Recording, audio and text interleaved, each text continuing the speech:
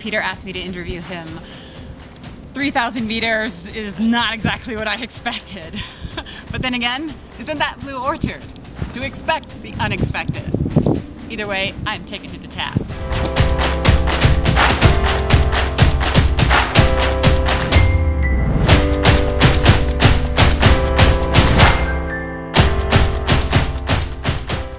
Welcome, everybody. You are watching the first in a series of 12 interviews that we're doing with BlueOrchard commemorating the 20 year anniversary of the asset manager. I'm joined now by the chairman, Peter Fanconi. Peter, it's always great to see you, but I, I, I have to ask you what we're doing at 3,000 meters. That's a strange opening for this interview, Ana Maria. But no, there are a couple of reasons of actually being here, I can tell you. Um, first of all, I love this place here. Well, what's We're, not to love, right? well, for, mount, for mountaineer, he would definitely love this place.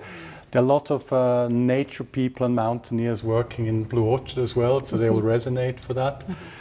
Um, second reason is actually if I'm in Switzerland, I, I live close to the mountains, so that's important for me. But I think that the most important reasoning for having chosen this place here in the middle of the mountains is we are surrounded by glaciers. These are one of the last glaciers in Switzerland we still have. They are uh, melting crazy. So you were to do this uh, video sequence here, we wouldn't see the glaciers as they are here. It will be all rocks. And of course, this is also part of the effects of climate change, right? And whereas, you know, for a country like Switzerland, melting glaciers might have an effect on, on the power situation due to hydropower in countries like, like, like Nepal, Pakistan, or areas in India, the melting of glaciers have a total different effect. We estimate today that roughly 800 million people will be lacking water in 20 years due to the fact of the melting down of glaciers. And if we can find ways to really preserve glaciers, you know, it's one little piece in really fighting the effects of climate change. And uh, I can tell you, I mean, this is not really known to many people, but, but really the effects of the melting of the water in the Himalaya will, you know, increase migration flows, which we have not even thought about so far. So this is very very accurate topic, and maybe that's also the reason why I believe there is a connex between BlueOrchard and glaciers, actually. Now, BlueOrchard has really been um, a pioneer in the impact investing uh, sector. Not only this, but as you described, female empowerment, um, education, um, always also on the frontier of these types of funds. Mm -hmm. Yeah, I think we always try to be the innovator. I mean, just imagine yourself 20 years ago BlueOrchard was the first company out there trying to commercialize the topic of impact. And commercialize it really meaning attracting financial institutions or investors in order for us to deploy that capital and money into frontier market and to support. And the idea was always to do it commercially, so not by providing grants, but really trying to build a business, trying to make people entrepreneurial, providing a microloan, but still having them to basically amortize or repay. Today, and I think we're actually very happy about that. Our competition has grown. There are a lot of banks, insurance group, other players who are moving into the sector helping you know to provide support to these countries. So that's something we're all very open about. I mean i think i still believe we deserve being the pioneer and will be that for many years to come because we've got the history. But it's great to see these players are coming on board you know. And one of, one, of, one of the greatest examples is our partner Schroders, for example, you know, one of the world's largest asset manager who decided to team up with a relatively small company like BlueOrchard and over the last two years, you know, we've been really able to, to create new products, to develop issues and topics. And not only has somebody like Schroders impacted BlueOrchard, but also we as uh, BlueOrchard believe have the ambition to impact such a great player like Schroders. So there's a lot of leverage also in these kind of partnership and scale as well. And do you see this kind of partnership as like a sign of the times?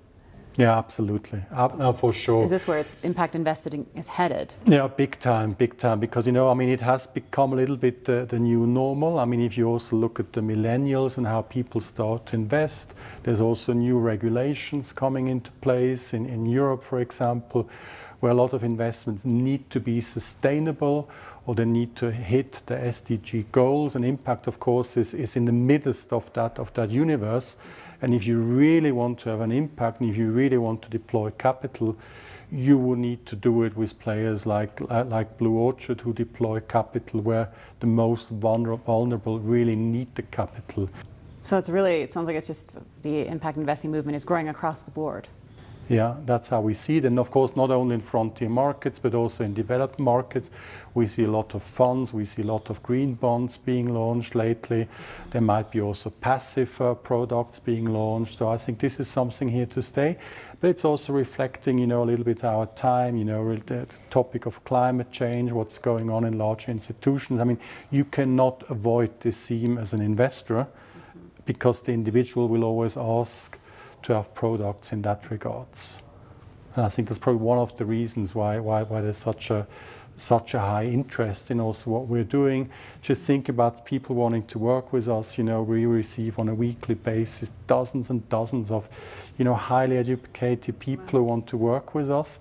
And that's maybe also a little bit showing, uh, you know, the interest the new generation actually has in the topic of impact. If we look back just for a few moments on these 20 years, I mean, you came on 10 years ago, right? More so less, more yeah, or less right, 10 yeah. years ago. What would you say? I know this this question is always a tough one, but like a, a key learning. For me, it, it was just totally mind opening when I started to understand what impact investing is really about by, by really combining, you know, financial markets and financial industry instruments with the fact by really having a local impact on the ground and helping millions of individuals who, without our help or without the help of BlueOrchard, would have never been able to really develop and would have also never been able to really escape the trap of poverty. And of course, you know, there are so many stories, and I, you know, in normal times I, I, I travel a lot and being close to these stories and understand what, what just a couple of hundred dollars can really you know, have for an effect and save lives and, and change also two or three generations, if you think about education, is absolutely mind-blowing. So for me, you know, that, that was very much also mission driven. I also believe for everybody working in our company and also the founders we had in the company, you know, we had people like Melchior uh, de Muralt, we had uh, Ernst Brucker, Omar Kandil, you know, great visionaries, Peter Harrison, the CEO of Schroders today. Stephen Mills, and other great people, and they all share these views and values and bring these views together and really shaping this company and also shaping the future of this asset class, I mean, that doesn't really make you sleep a lot, I guess. well, I mean, at the end of the day, I guess what you're saying is you can um, do good and make money. Yeah, exactly. That's basic, right? that, that's the idea, right? I mean, it, the, the purpose is really, or the mission is really doing good and helping people. That's very clear. But of course, in order to attract finance and not just being a development aid institution or just providing grants, our investors, they always would expect that the invested capital is being reverted, right? So the only way to do that and also to grow is really having a commercial business and, and you know and, and and uh, looking for capital, investor capital, but assure that our investors are also happy in regards to their yields and their impact. So it's always it's always this double layer. So it's financial, but it's also impact and impact being really ecological and social. And this is uh, something that you know, I know you're not going to say it, but to your credit, you know, the company was a bit on the brink when you came on board 10 years ago and gave it that commercialization, if we can use that word, mm-hmm. um, yeah, in order to grow the business. Yeah, I mean that's that that's not me. These are over 100 people, best talents. You know, we have, uh, I believe, are situated in, in BlueOrchard. But, but it's true, really understanding that there is a need to also commercialize this business and bringing it a little bit away from the pure NGO. And it's okay to do it. It's right? totally okay because it's not going to take away from the mission. No, because you know it's, it's quite a philosophical uh, discussion. But if you think about, you know, if you're able to attract more capital, you're also able to deploy more capital and provide more help. So there's a commercial perspective to attract capital, yes, but the reason for doing that is, is, is, is purely in order to provide help. So it's a kind of a combination. It's a fine line, I'm fully aware of that, but I think we're managing it pretty well. And you, um, this is this is this was the driving force for you to come on board with a company like this? I mean, the yeah, mission. For, for me, it was. I mean, I mean, you know, just trying, you know, to help people and to and, and to really have an impact. And you know, I mean, if somebody's a doctor, it's kind of easy. Unfortunately, I'm not skilled to to be a doctor. My but you my also need a calling, right? Doctors usually have like a calling, right? They also always absolutely they want to help people. Yeah, I think I probably also and people working for us have this calling as well but trying to basically, you know, make best use of the skill set you have at hand. In my case, it's financial background or legal background. So using this skill set to really transform that in really helping and, and, and doing good. It's probably the mission, yeah. Oh, we, we mentioned earlier that you're celebrating, of course, 20 years. So congratulations, because everybody knows that two decades of doing anything with passion yeah. is an accomplishment. So, so yes, congratulations. And you've, you've documented this wonderful journey in a book. Mm-hmm. Um, this is my story, where yeah. you where you sat down with a lot of your yeah. end clients. I mean, that must have been yeah. what a walk down memory yeah, lane, right? Exactly. No, the idea was really, you know, there are all these books out there, and everybody's writing how great they are, what they've been doing. So our ambition here was really to bring borrowers, how we call them, our end clients, who you know historically received some money to, to, to have them speak up, give them a voice and tell their stories in order for you know, us you know, living maybe in developed country to really understand what the effect of a couple hundred of, of dollars or rupees can actually be on people's lives. So we interviewed in four continents, we interviewed uh, dozens of families and stories. Uh, we didn't market anything, so we just wanted to really have a mirror and showing people who unfortunately are not able to travel, in particular in these days, how, how impact is really working, what are the pros, there are, there are cons to it, mm-hmm. people are speaking up to it, and we just try to open a little bit uh, the mirror and provide transparency as much as possible. I saw your photo in the book, so you were actually physically there. Oh, we these, are, are, these are also places that you were physically there. Yeah, yeah, we always, I mean, it's boots part, on the ground. Yeah, part of our job, you know, boots on the ground, you know visiting people in remote areas, trying to help, trying to understand.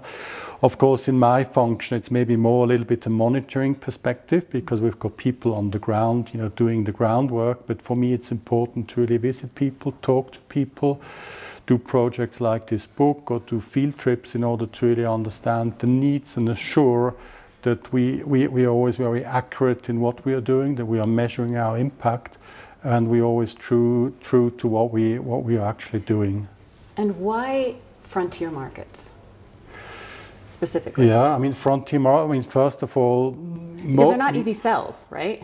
It's very very difficult. I mean, if you invest, you know, you ask investor, you know, to support you for investment in Myanmar, for example. Mm-hmm. Initially, that would shy people away. Um, so there are several reasons for that. First of all, the vulner vulnerability in these countries is much higher than obviously in, in developed areas, right? So if you look at climate change, for example, 70% of global climate change effects take place in frontier markets, whereas the bulk of the investments today still happen in developed countries. So there's, there's an asymmetry here. So it's super important to have a physical presence and also deploy capital in markets where there's also need for that. And there's also a kind of a lack of transition. So if you have got from the Western world capital which, which needs to flow into developed market, the question is how would you do that? And you need an intermediary, intermediary to do that. And BlueOrchard is actually right sitting here in the middle helping the capital to go into frontier markets, but also reverting it back to the investors. And there's so much to do. You know, poverty has, for us has uh, happily decreased over the last uh, decade, as we know. You know, we were at roughly two billion at one point. Today, officially, the world organizations are talking about eight, nine hundred million but also related to the pandemic today. We already have been seeing a peak again in, uh, in poverty. Now that you touch on the pandemic and COVID, just a couple of weeks ago, BlueOrchard launched a, a fund that, that addresses this, uh, the, the frontier market specifically in this area? So for us, BlueOrchard always has been an innovator in coming up with new ideas. We had the first education fund for Africa. Uh, we are responsible for the uh, for the Paris Climate Agreement Fund, you know, which is very important for us as well. On the other side, we also launched a couple of weeks ago only the first COVID support fund. So what we realized mm. that there's a lot of grants and activities in developed countries, but there's not that much going in frontier markets, and it was very important to understand that the most vulnerable actually, again, here are in frontier markets. So what we did, we gathered globally the largest um, uh, development agency of the world, you know, from, from Japan to UK to Switzerland. And we formed a fund, and the fund is actually starting to deploy capital as we speak in really helping the poorest of the world, which are affected by the pandemic. So, what do you say to somebody who's interested in impact investing? Get on or you're missing the boat. No. No, no, no. I tell them, I tell them to, to really spend some time and try to understand what different areas of impact there is. I would love to tell them, you know, have a look, have a look at our book, you know, or, or try to try to talk with people who are really impacted, you know, because you know companies like BlueOrchard or Schroders will always be seen as somebody, you know, also being commercially. But I think somebody really wants to learn or understand you know, think about, you know, the, the model of Muhammad Yunus, you know, with Grameen Bank or how these activities exactly microfinance or think about infrastructure, think about education. And again, remind people that you can do good and make money. so if you're yeah, just coming at it exactly. purely as an investor, you can also win. Yeah. That's the beauty of this industry. I, fully agree. And that will be eventually also one of the reasons why this industry will continue to grow you know, it's fascinating to also see all the regulators. You know, mm-hmm. usually the regulators. Mm -hmm. We didn't talk about this, but this the, is a very exactly, important. The regulators, they're usually rather passive, you know, and they follow financial trends in regards to the SDGs and ESG and social investment. The regulator are actually pressured by the public, so, so bottom up, to really come up with very sound regulation for pension funds, for example, how the money needs to be deployed and of course that's an incredible driver as well. So it's it's an attack from all sides actually. Mm -hmm. At the end of the day, then impact investing is is really something you can come at from two angles. You either come at it from the investing angle, or you can come at it from a mission angle. The idea of you know teaching the man to fish so that you can feed him for a lifetime. Absolutely. I mean, that's basically this combination of these two areas, you know, and you, you might have people who say, okay, I love impact because, you know, I can really, you know, teach the fisherman. On the other side, you would have somebody say, you know, I kind of like that idea, but what I really like is the decorrelation of my investment and my returns. It's fair. So you, it's fair, and you've got kind of both angles. And I think our mission is to really be, be true on both aspects, and it is a fine line, very frankly. I think we we are maneuvering extremely well doing that. But at the end of the day, there's really two topics, you know, and uh, and you might be, you know, in, indulged by one topic stronger than by the other one. Uh, that all depends, of course, on your background. But but uh, you know, what what I can tell you, and I'm trying to convey everybody to that, you know, you should join, you know, us, you know, or other companies on a field trip, you know, being in one of these remote areas and really understanding what kind of difference you can have in the lives of people. And it's usually not only one individual, but you know, there's a family groups, 10 family members, then they've got great parents, it's a whole community, and you really change community without telling the people what to do. This is very important. So we're not the teacher and tell the guys this is a grant, you know, you need to build here a, uh, you know, a water source or whatever, but we really try to, to, to, to give access to these individuals to build their own little universe by giving them some education, giving them some investment in order to grow. Because I mean, just imagine if you if you are born in uh, in, uh, in in Congo, for example, in, in DRC, you know, and, and you have an idea or a wish you would you would love to build your own little business, and you need hundred or two hundred dollars. Your problem is going to be Ana Maria. You are not in position of $100. Neither is your family, mm-hmm. and a bank will never provide you any funding because you don't have a collateral. So the only way really to, to have this first step of investment would be through microfinance. And, and that, that is just mind blowing.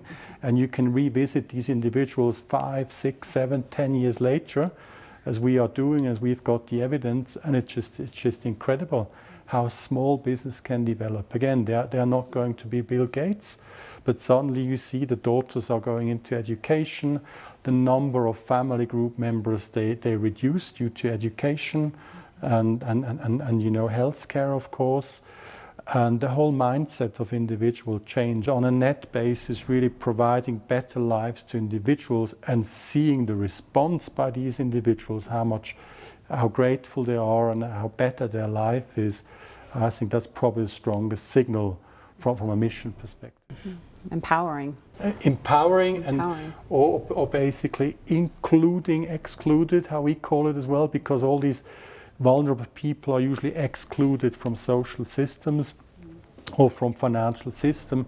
So including these individuals, they still have to play their own chances. You know, it's not us telling them, you know, they need to study, but, but they, they, there is no need to do that. As soon as people are empowered individuals, they start to develop, they move, they're educate. It's, it's mind-blowing to see that. So thank you, Peter, for that very top-down uh, perspective on BlueOrchard, and of course that look back over the past 20 years. That was so interesting. Congratulations for all of the work that you've done.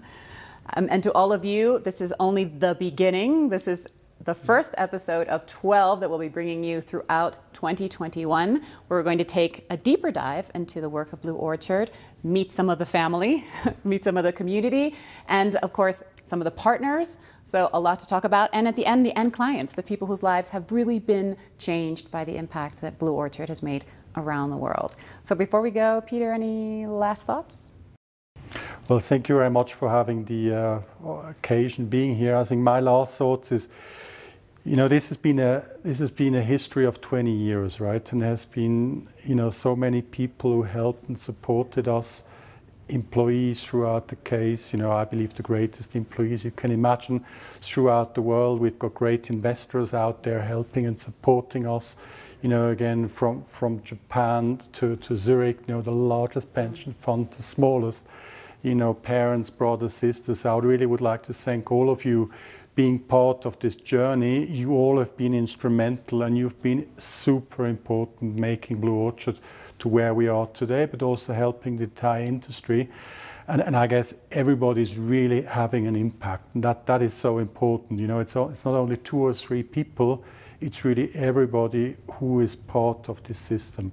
So I'd like to thank all of you for being here for the last 20 years, supporting us. Please continue to support us also over the next 20 years. There's much to do. We'll be here and we'll stand up every morning trying to make this a better place. So thank you for having me today. Thank you for the time and all of you for joining us.